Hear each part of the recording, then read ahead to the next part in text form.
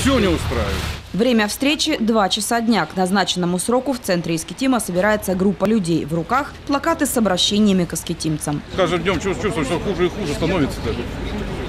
Просто, я не знаю, ну просто я говорю за своего внука, даже не за себя. Потому что мне завтра скажут, дед, а что-то вы молчали-то, почему мы так живем-то? Я хоть что-то старался сделать. Как только участники пикета разобрали подготовленные плакаты, к ним подошли представители полиции, объяснив, что действия граждан незаконны.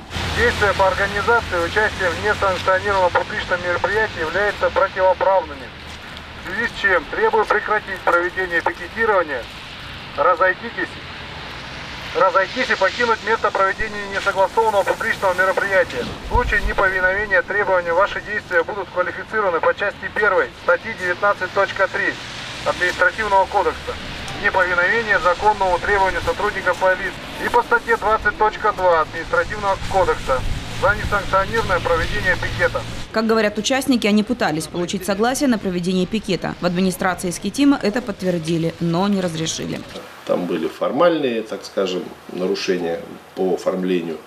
И кроме того, там было не совсем нормальное место заявлено для проведения митинга. Там была Комсомольская площадь, я уж не знаю, кто так написал, зачем. То вот э, там это нарушение закона там, о транспортной безопасности и еще чего-то. То есть митинг мы не согласовали.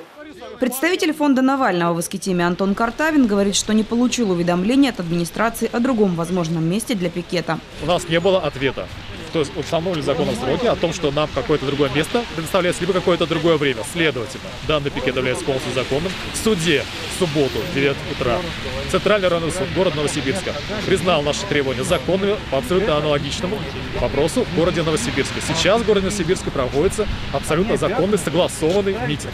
Участникам предложили покинуть место пикета в течение 10 минут. Чтобы избежать проблем с законом, люди были вынуждены последовать этому совету. В понедельник на аппаратном совещании исполняющий обязанности обязанности. Заместитель начальника отдела полиции Руслан Литвин доложил, что на организатора мероприятия составлен административный протокол.